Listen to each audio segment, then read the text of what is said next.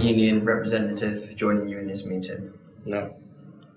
Yes, we know you've got a lot of things going on right now. You received the letter. You know what this is all about, right?